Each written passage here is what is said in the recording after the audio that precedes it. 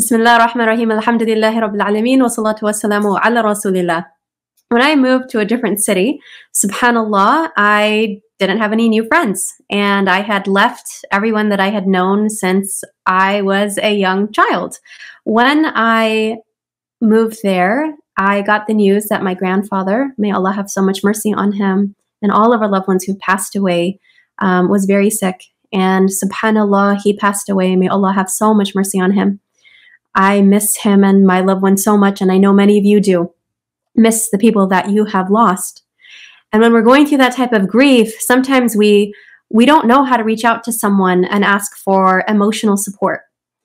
And I moved back to my city. I mean, I went back to the city that I had just moved to, and a friend of mine who I considered very close called a few weeks later. I hadn't heard from her when I had just lost uh, my loved one, and I was a little bit hurt that she hadn't called, even though we had known each other for many, many years.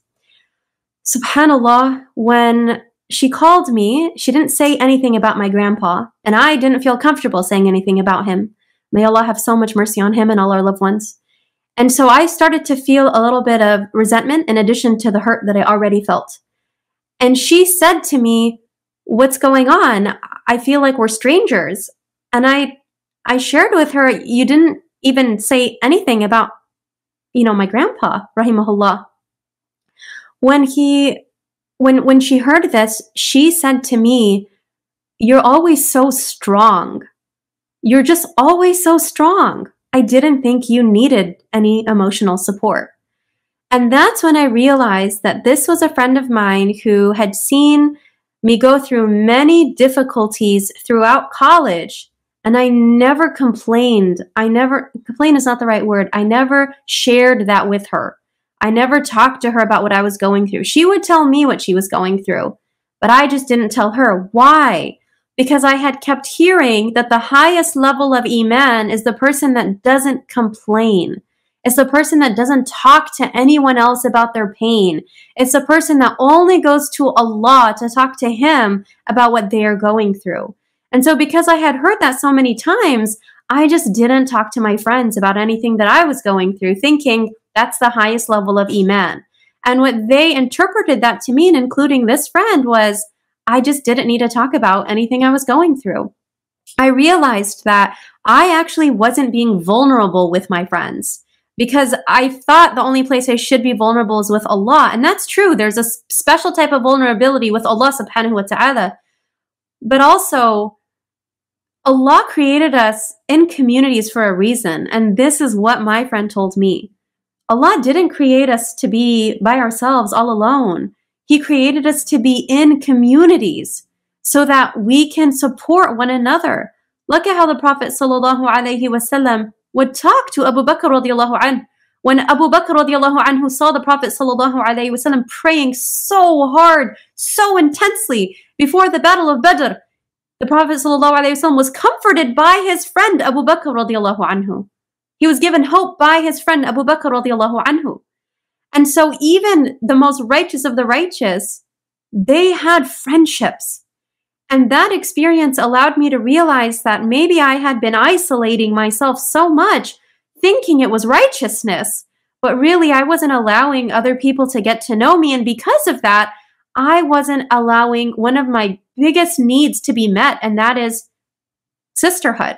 That is the deep feeling of someone caring about you and calling to see if you're okay after a loved one passes away. Studies have shown that for a stranger to become, an acquaintance to become a friend, it takes 50 hours. For that friendship to deepen, it takes another 40 hours. And for you to become really, really close friends, it takes 200 hours of spending time together. It makes sense. The more that you spend time with someone, the more that you're going to get to know them and the more comfortable that you may feel being able to express your own self to them. Oftentimes, when we look at reading the Quran or we look at a sport or we look at a new hobby, we know it's going to take us many hours until we actually reach a place where we feel proficient, where we feel maybe we are not necessarily even an expert, but we know what we're doing. Why are relationships different? Why wouldn't it take work to be able to cultivate that type of relationship that we're seeking in our lives? And as we're navigating this feeling of loneliness in adulthood, especially as we navigate that process when we are going through being students in college or high school and then working or becoming a mother or a father or whatever that may look like or moving to a new city, sometimes it can be really daunting to try to make a new friend. But there are four steps that inshallah we can do ourselves to help create that. The very first one is making dua. Ask Allah subhanahu wa ta'ala for suhba salihah. This is a dua that we can make in these last 10 nights of Ramadan for ourselves, for our loved ones. Allahumma, oh Allah, urzuqni, bless me, provide me. This is a rizq. Provide me with suhba salihah. Bless me with righteous companions. Bless me with good, solid companions. And many people ask, do these companions need to be Muslim? They do not. It is okay, of course, to be friends with those who are not Muslim. Are these people going to bring you closer to Allah? Are these people going to value your religious commitment? Are they going to honor the boundaries and limits that you place? And can you help teach them about the beauty of Islam as well? So, learning to cultivate that relationship first begins with making dua and making the intention that, inshallah, you can also be a blessing in the lives of the people that are around you. Secondly, steady your heart. There may be times where you make plans. I remember this once time that a, a, group of friends of mine made a plan to meet. We hadn't met in two or three years. I was so excited. I couldn't wait to meet them.